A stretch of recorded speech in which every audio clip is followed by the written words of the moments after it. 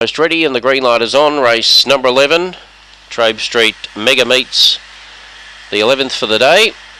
Set, racing. I'm no nag, a little bit slow to begin, showing pace in the centre was Little Ranch, shows good pace. Going up to second, one Mississippi. Third was Frizzle Izzle. About three lengths then, Suspicious Sam. On the rails, I'm no nag.